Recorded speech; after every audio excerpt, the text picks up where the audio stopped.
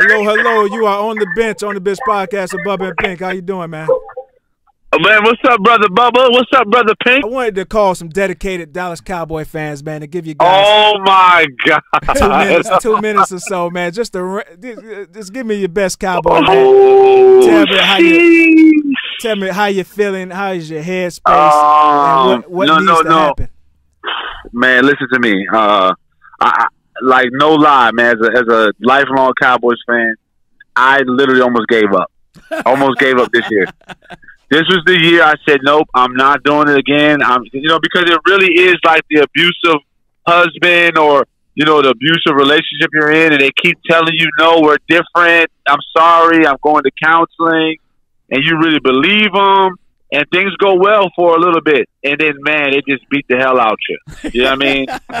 and that's how I felt, man. I, I have never been, you know, historically, you could check the records. I have never been a Dak fan. I think he's amazing just in terms of a face of a franchise. He's going to say the right things, do the right things. But listen, both of you know me as a fierce competitor, right? Yes. There's there's some there's something he misses that he just does not have. Like it when when it matters, you know what I mean. And so for us to go in there, 16 uh, game win streak at home, and to not just lose, but to get like embarrassed. It, it was almost like, yo, what have you guys been doing on your time off? Like our game plan wasn't there. Like Green Bay, you could tell they had a game plan. Stop CeeDee, disrupt that, and, and and so it was just more so we're just really uh like uh, what's the word? Be, like befuddled. Like I, I really just was confused on what I was seeing. Aaron Jones, Adam Jones turned into Barry Sanders. you know, uh, Love turned into Brett Favre and Aaron Rodgers combined, and it was like we're just wa- watching the total dis- dismantle of a team. And then and then and then Dan Quinn, like why why are you playing so soft? Like they, they just kept dumping. They they would get eight yards, nine yards every time they threw the ball, and it, and then we made no adjustment. So like the equivalent is like, you know, we you're playing against a, a team of shooters, and we just been playing zone. And and, and Pink is telling, but like Bubba, bro, this zone is not working. We got to get out of it. And Bubba's like, nah, bro, we're gonna figure it out.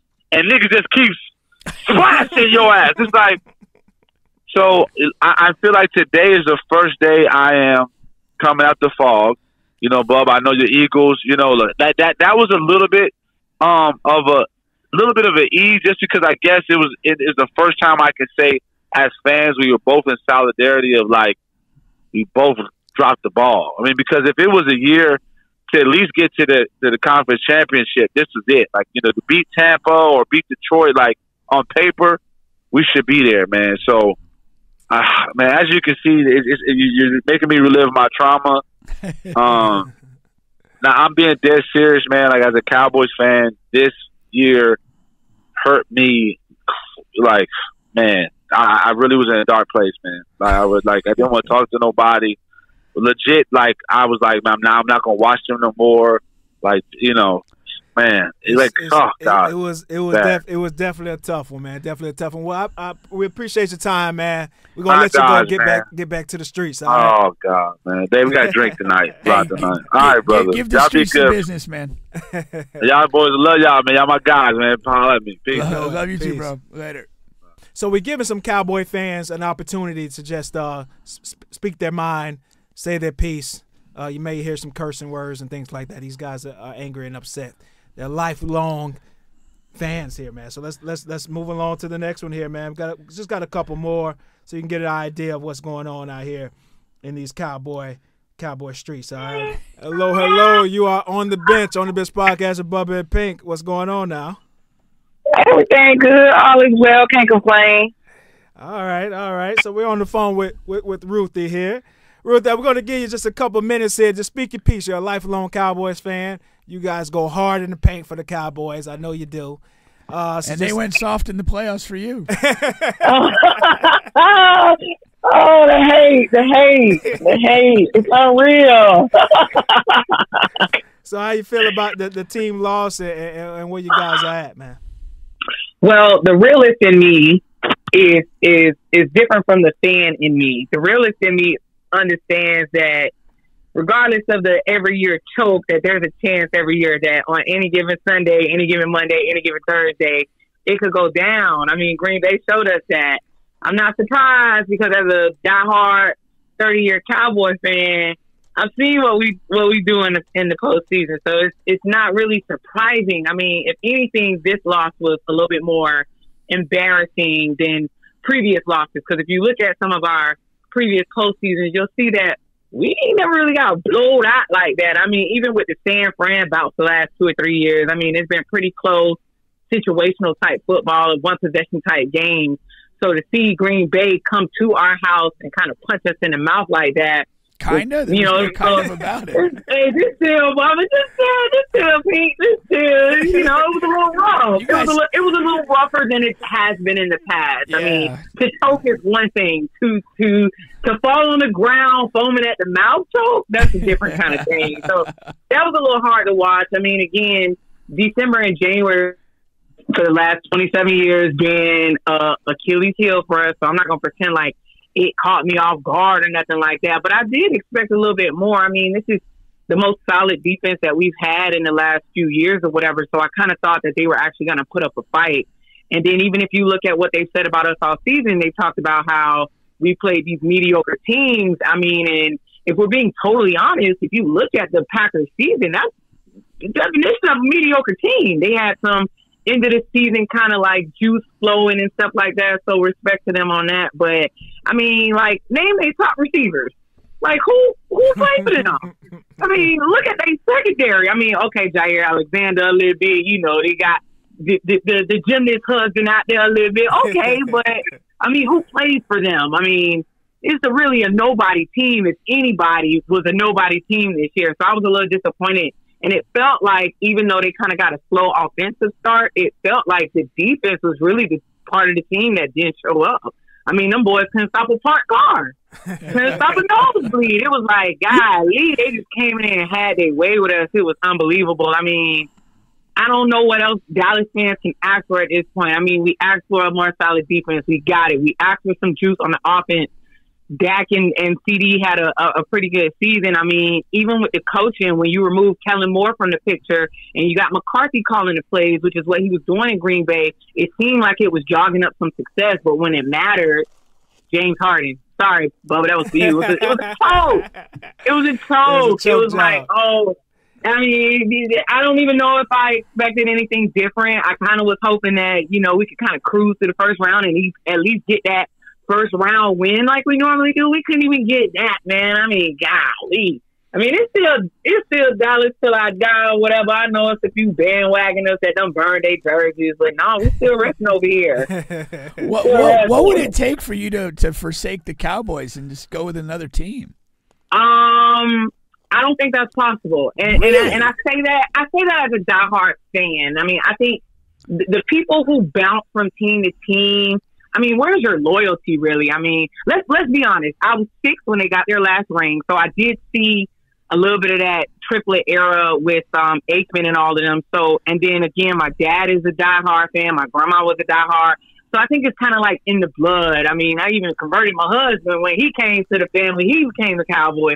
So I'm not sure that they could do anything to make me kind of like walk away. I will say that I always got a team on standby. You know what I'm saying? So when Dallas let me down, I hear you know, that's I- how you ladies operate. hey, what's up, Pete? This you know, we put our secrets on blast now. It's secrets. Don't tell nobody. I mean, but I don't think that there's. I don't think there's any. I I mean, it's been worse than this. If you if you look at our history, the Yeah, last sure. you know few years, it's been worse than this in some seasons. So I think when they kind of come back during the season and they kickstart a little juice, they kind of give you a reason to come back. So I'm not sure that there's anything that they could do. But I mean, since we're in Texas, let's just go ahead and root for Pastor CJ. You know, Okay. keep the Texas dream alive. See if they can go somewhere since Dallas can't do nothing. But no, it's it's die hard till I die. All right, all right. Well, appreciate your time there, Ruth. I'll catch you. I, absolutely, y'all boys be easy. Thank All right, you. now. Thank you. You're on the bench on the bench Podcast with Bubba and Pink. What's going on, my man? Yo, what's up, my guy? What's going How's on? it going? We're on the horn with Derek. Derek has actually had multiple tweaks to make it onto Undisputed, man. Really? He's a budding star. A buddy. I'm almost there. Oh. They, one one more tweet, and they're gonna have to bring me on the show. I'm not gonna lie to you. they're gonna have to fly a boy out there. That's funny. Appreciate you uh, uh, uh, uh, being with us on the show here, man. I, I I know you're a diehard Cowboys fan as well. If you just want to give us a, a, a couple of minutes of uh, where you're at uh, with the team and, and what's going on in the Cowboys Uh, Nation here. I, I I mean, we we heartbroken. I'm not even gonna front. We we heard over here. Uh, it, it, it's necessarily it, you, you you know the, the the definition of insanity when they say you know you do something over and over and over and you expect a different result. That's that that's what that's what it's like to be at this exact moment at, at this exact time dealing with what we just dealt with because you you all saw the game right you all saw what happened Yeah, Yeah. familiar with it. it was depressing for everyone who is a Dallas Cowboys fan. And the, the funny thing is, a number of Cowboys fans hadn't even been to Dallas. We've never even been to Texas. We're not from Texas.